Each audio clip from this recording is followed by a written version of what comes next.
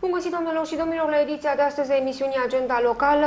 Realizăm astăzi un interviu cu doamna Luminița Popescu, decanul Facultății de Inginerie din cadrul Universității Constantin Brâncuș din municipiul Târgu Jiu. Bună ziua, bine v-am găsit! Mulțumesc de invitație, bine v-am găsit!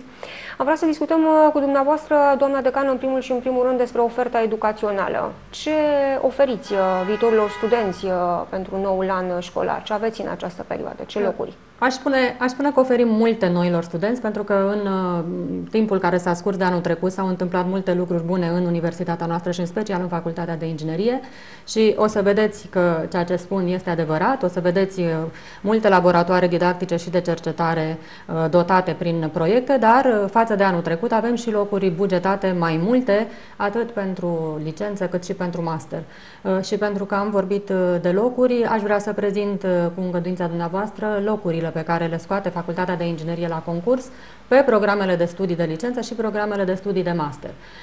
În ceea ce privește programele de studii de licență, Facultatea de Inginerie scoate la concurs locuri pentru ingineria sistemelor, pentru programul de studii automatică și informatică aplicată, unde avem un total de 50 de locuri, din care 28 de locuri sunt finanțate de la buget, un loc este pentru tineri de etnie romă și două locuri sunt pentru tineri de origine română din Republica Moldova, țări învecinate sau diaspora. În ceea ce privește uh, domeniul ingineria mediului, programul Ingineria și Protecția Mediului, uh, avem 75 de locuri în total, din care 28 de locuri sunt bugetate și două locuri sunt pentru tineri de origine română din Republica Moldova, țări învecinate sau diaspora. Programul TCM, Tehnologia Construcțiilor de Mașini din domeniul ingineriei industrială, are 50 de locuri în total, din care 27 de locuri sunt finanțate de la buget, un loc este pentru tineri de etnie romă și două locuri pentru tineri din Republica Moldova, țări învecinate sau diaspora. Și, de asemenea, din domeniul inginerie și management, avem programul de licență inginerie economică în domeniul mecanic cu 40 de locuri în total, din care 20 de locuri sunt bugetate și două locuri sunt pentru tineri din, uh, de origine română, din Republica Moldova, diaspora sau țării vecinate. Și am lăsat la sfârșit un domeniu uh, de mare actualitate, domeniul inginerie energetică, cu două programe de studii, termoenergetică și managementul energiei, fiecare din aceste programe are câte 50 de locuri, din care pentru fiecare sunt 27 de locuri bugetate, un loc bugetat pentru uh, tineri de etnie romă și câte două locuri bugetate pentru fiecare program pentru tineri de origine română din Republica Moldova, diaspora țării învecinate. În ceea ce privește locurile pentru master, sunt mult mai multe locuri față de anul trecut. Fiecare program de master pe care îl organizează Facultatea de Inginerie are câte 50 de locuri în total, din care, pe programe, distribuția locurilor bugetate este următoarea.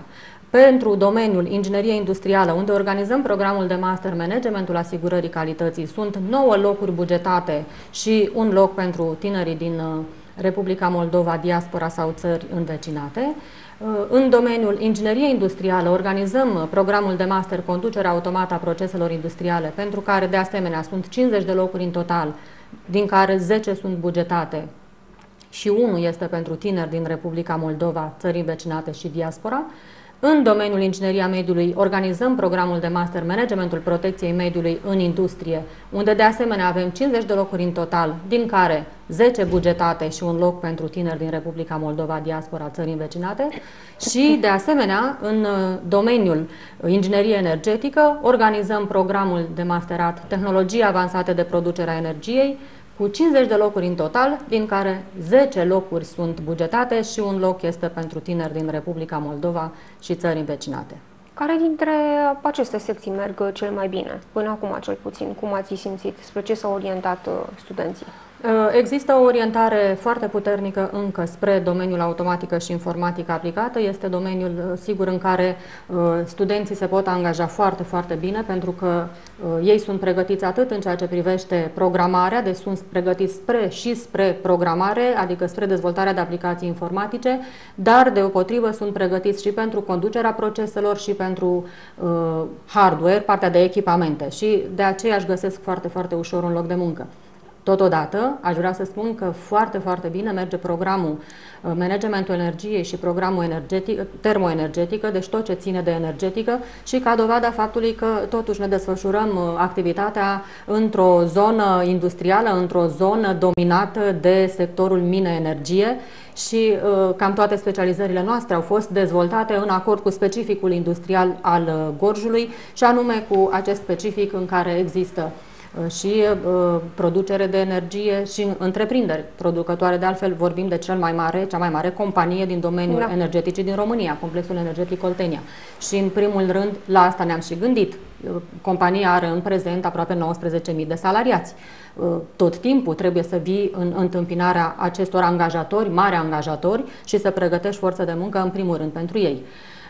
Dar Acestea două ar fi pe primele două locuri, urmate de uh, cele de la ingineria mediului, pentru că nu putem vorbi de industrie fără să vorbim de poluare și de tehnici de depoluare și de tehnici de reducere a impactului uh, activităților acestor uh, companii asupra mediului și sigur că în aceste uh, situații vorbim de specializarea ingineria și protecția mediului, care merge de asemenea foarte bine, este foarte atractivă pentru tineri. Am înțeles. Ce se întâmplă cu taxele de școlarizare? Se vor mări, cresc uh, pentru noul an școlar? Uh, nu, nu. La nivelul facultății de inginerie și în special și la nivelul universității, optica este ca taxele de școlarizare să nu crească la, de la un an la altul cu mai mult decât rata inflației. Față de anul trecut nu au fost majorate taxele de școlarizare și nici taxa de admitere. Cum stați la capitolul laboratoare? Ce le oferiți uh, studenților? Uh, la capitolul laboratoare, într-adevăr, aici înregistrăm un salt, uh, i-aș spune poate spectaculos dacă nu este prea pretențios spus, pentru că, începând cu decembrie 2012, Facultatea de Inginerie implementează proiectul dezvoltarea unui centru regional pentru tehnologii energetice durabile, în cadrul căruia am amenajat sau sunt în curs de amenajare patru laboratoare de cercetare dotate cu echipamente de înaltă performanță, echipamente cu care sigur că da, vor lucra atât studenții de la licență cât și studenții de la master, dar și aceia care vor să rămână în cadrul universității ca și cercetători.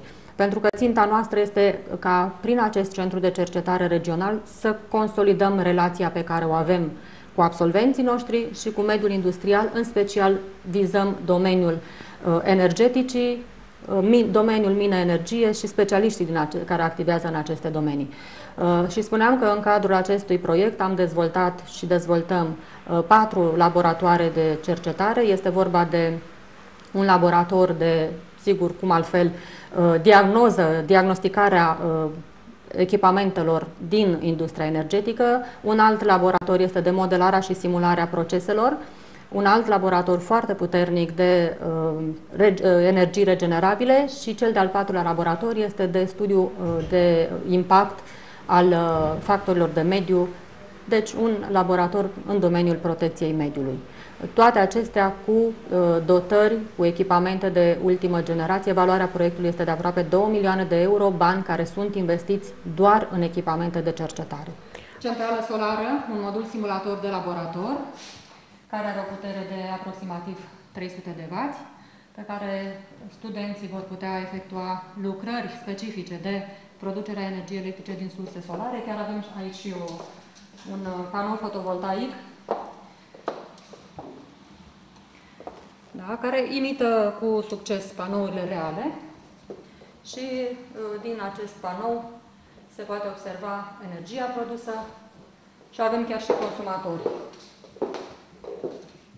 Sunt foarte multe aplicații care se pot dezvolta cu acest span.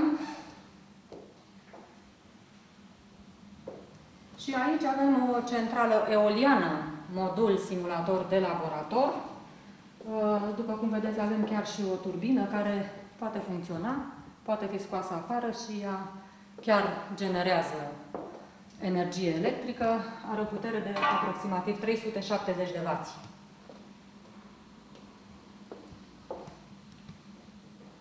trifazate reglabile în domeniul 0-380 volți, surse de curent alternativ, surse de curent continuu reglabile.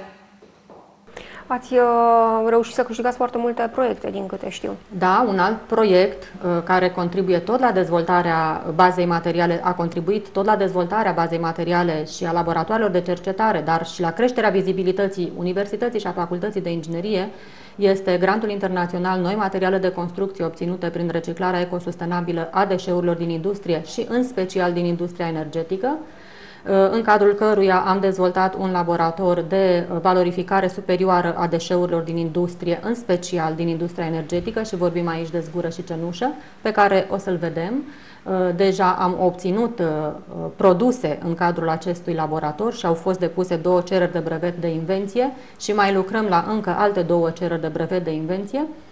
Deci, iată că din nou uh, am contribuit și la dezvoltarea bazei materiale, dar și la creșterea vizibilității universității, însă foarte important și pentru studenți, dar și pentru publicul larg este faptul că începând de anul acesta Universitatea va mai implementa alte 11 proiecte, atât în calitate de beneficiar cât și în calitate de partener. Sunt proiecte câștigate în cadrul programului operațional sectorial Dezvoltarea Resurselor Umane, proiecte în care studenții vor putea să uh, lucreze, să activeze, fie să-și uh, realizeze activitatea de practică pe platformele dezvoltate în cadrul acestor proiecte, fie să beneficieze de consiliere uh, și orientare profesională în cadrul activităților de orientare și consiliere care sunt prevăzute în aceste proiecte. Ne puteți spune mai multe amănunte despre cele două produse? Despre cele două produse? Da. Uh, obținute în cadrul, uh, o să le vedeți, uh, ele sunt mai multe produse, noi am testat aproape 500 de rețete în cadrul acelui, acestui laborator de cercetare și vă invit să-l vedem, acum sunt oameni la lucru acolo, sunt colegi de-ai mei care lucrează chiar și acum, am testat, așa cum spuneam, aproape 500 de rețete, din care ne-am oprit la câteva, pe care le testăm în prezent, împreună cu partenerul nostru, Complexul Energetic Oltenia. Partenerii în cadrul acestui grant internațional sunt Complexul Energetic Oltenia și Agenția de Protecție a Mediului Gorj și uh, Complexul Energetic Oltenia a subcontractat, conform prevederilor activităților proiectului, activitățile de testare a rețetelor scrise de noi în cadrul uh, experimentărilor de laborator. Le, le testăm acum pe fluxuri industriale, chiar la operatori economici din industria materialelor de construcție și dacă am voie pot să le dau și numele acestor operatori care pun în operă ceea ce noi am gândit în laborator. Complexul energetic a contractat fluxuri, testarea pe fluxuri tehnologice direct la la operatori economici și sunt trei operatori pe care i-am țintit.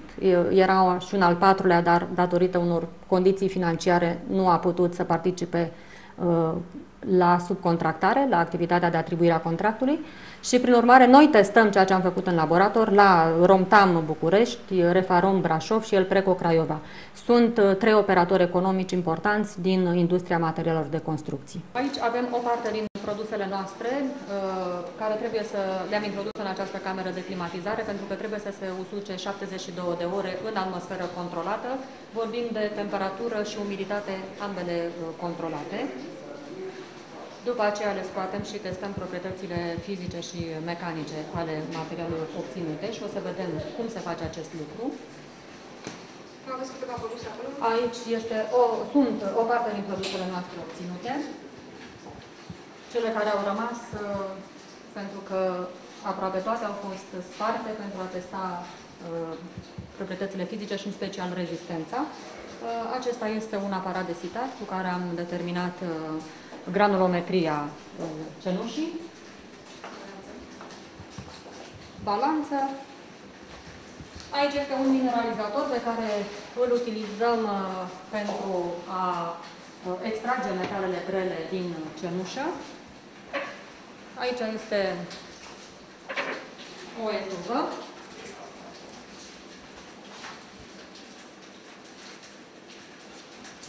Alte produse obținute de noi și acolo vedeți uh, câteva sorturi de cenușă, probe de materii primă, Cenușa din care s-au obținut, cenușa din care s-au obținut produsele. Cenușa este doar un, un, unul din elementele utilizate pentru obținerea acestor uh, produse. Noi am mai utilizat și uh, șlam de foraj într-o anumită proporție și de asemenea și diferite sorturi de zgură metalurgică, dar și argilă, care este un alt deșeu uh, obținut uh, prin uh, decopertare pentru uh, în carieră de lignit. Dar ce pot folosi aceste produse, aceste culturi?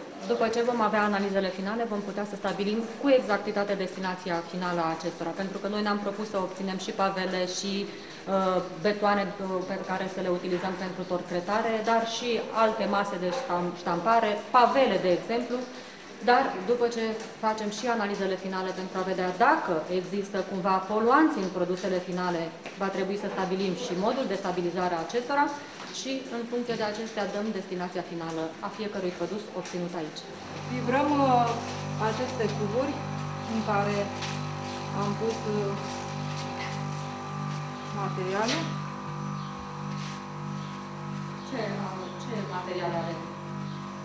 Ce materie primă? Deci este betonul, e un Linkofest 124, betonul produs în Italia, care se torcretează în cet Gogora și pe care l-am înlocuit cu betonul nostru cu, pe bază de cenușă termocentral. Și avem probele și cu betonul nostru și cu betonul de import și facem determinările în paralel, comparativ. Și cât timp este lăsat acolo?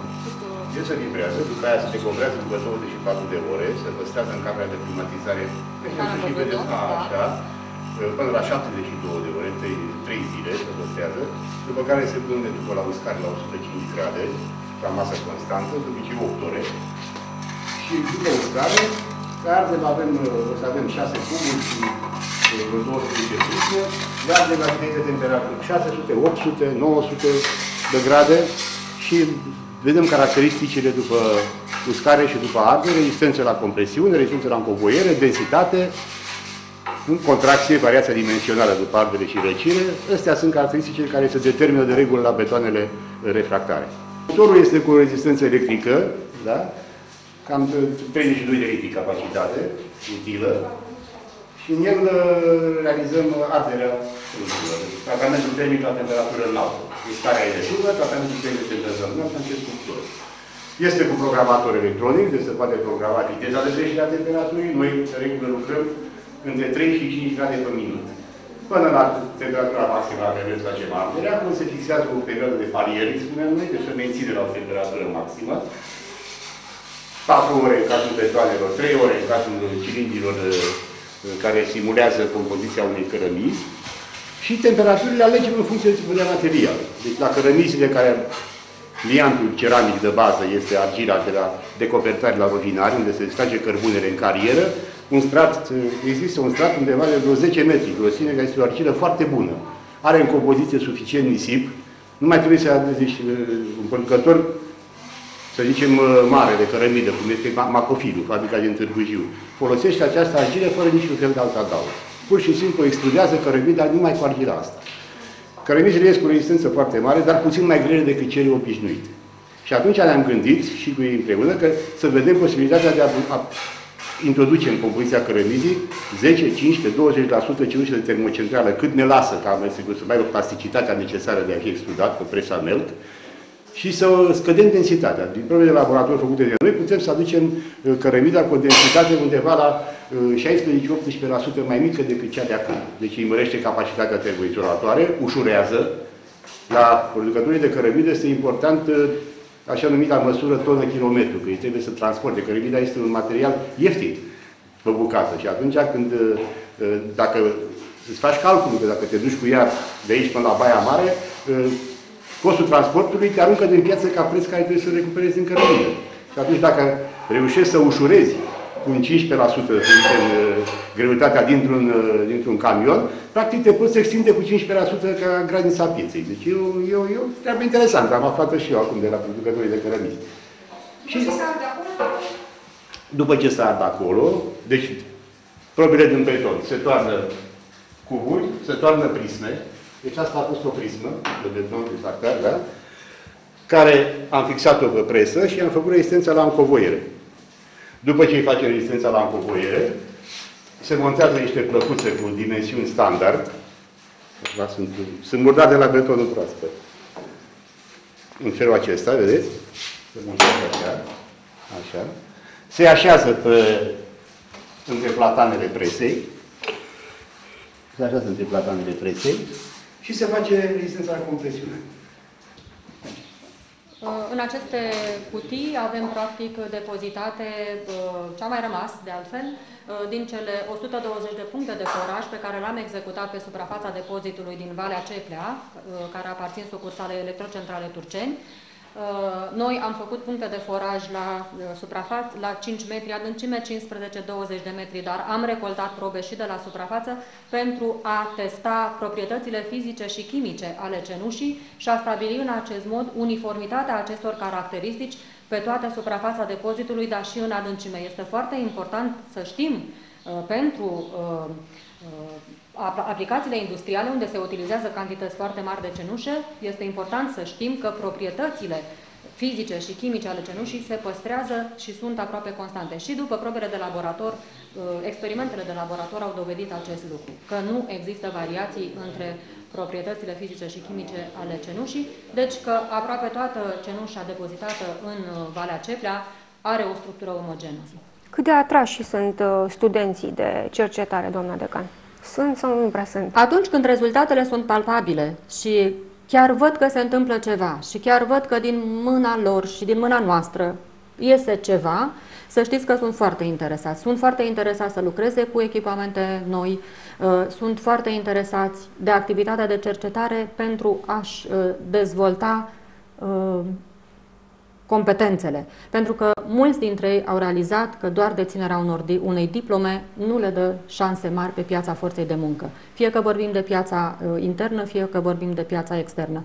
Și atunci, sigur că cei mai mulți dintre ei sunt foarte interesați să lucreze cu echipamente noi, să afle lucruri noi, uh, să-și îmbogățească uh, bagajul de cunoștințe pe care uh, îl dobândesc de la activitățile de curs, care sunt activități teoretice, și își dau seama că prin acest mod pot să concureze cu succes, cum au făcut-o de altfel și până acum, cu absolvenți de la alte universități, pentru că, uh, în special din domeniile acestea uh, de vârf, și vorbim aici de automatică, vorbim de energetică, este clar că venim în competiție cu universități cu brand, cu universități uh, care sunt deja consacrate în peisajul academic și numai prin aceasta prin aceste proiecte și prin dezvoltarea competențelor absolvenților noștri, noi ne putem impune, ca și ei de altfel, pe o piață în care concurența este din ce în ce mai acerbă. Da, se poate dezvolta și mediul de afaceri cu toate aceste idei, cu toate aceste produse, dacă se implică în uh, cercetare. A, a, acesta a fost un alt aspect, o altă țintă pe care am vizat-o, aceea de a dezvolta, de a consolida și de a dezvolta relațiile pe care le avem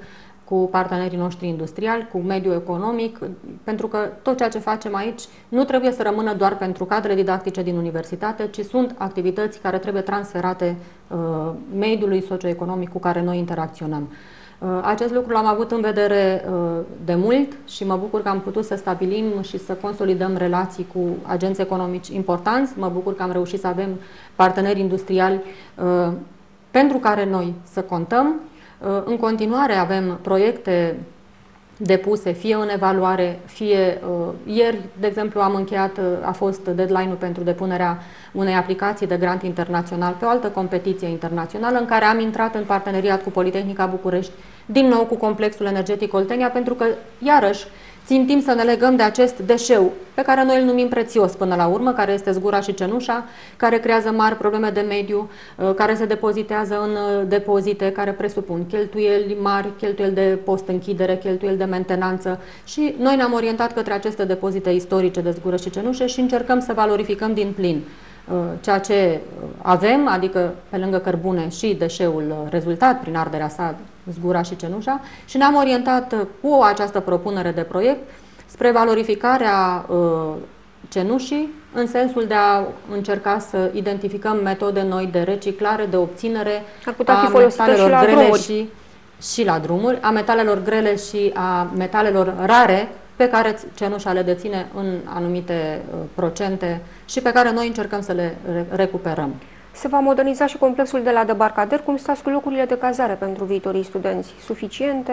Întotdeauna au fost locuri suficiente în raport cu cererile studenților. Așteptăm, noi tot sperăm să ne mutăm în casă nouă, dar iată acest lucru nu se întâmplă și probabil nu se va întâmpla foarte curând pentru că uh, finanțările nu sunt uh, suficiente pentru a putea da în folosință sediul nou din complexul de Barcader. Parderul este într-o stare mai avansată în ceea ce privește lucrările de amenajare. Probabil că acolo anul viitor e posibil să, să intrăm. Dar, după cum ați văzut, uh, ne-am preocupat și să avem sedii noi și spații noi și modernizate și aranjate și toate astea pentru Uh, studenții noștri și pentru colaboratorii noștri.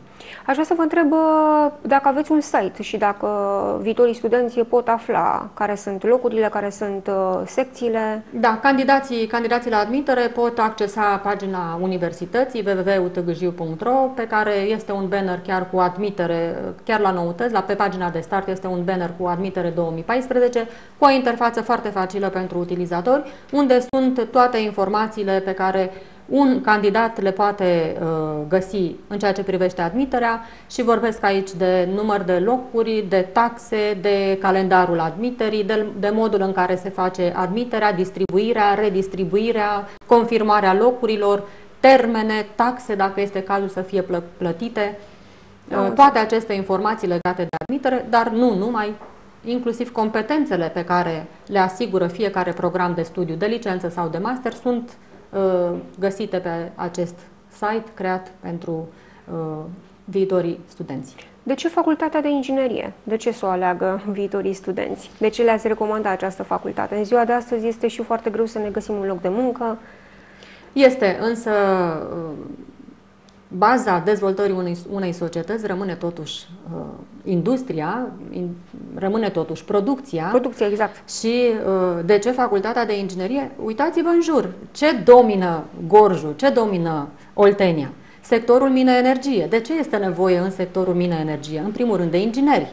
Abia după aceea uh, este nevoie și de economiști, și de juriști, și de absolvenți de alte programe de studii. Dar în primul rând este nevoie de ingineri. O țară fără, fără inginerie, o țară fără industrie, o țară fără producție, nu este o țară care să se poată dezvolta. Sigur că putem vorbi aici și de industrie, putem vorbi și de agricultură, dar și în industrie și în agricultură este nevoie tot de ingineri. Am înțeles. Mulțumim mult uh, pentru toate aceste amănunte. O să vedem uh, cum arată laboratoarele. Vă invit să le, să le vedem împreună. Mulțumim mult uh, pentru toate aceste amănunte. Invităm și noi pe viitorii studenți la Facultatea de Inginerie. Așadar, doamnelor și domnilor, astăzi la agenda locală ați urmărit un interviu cu decanul Facultății de Inginerie, doamna Luminița Popescu. Eu sunt Daniela Gapșa, vă mulțumesc pentru atenție.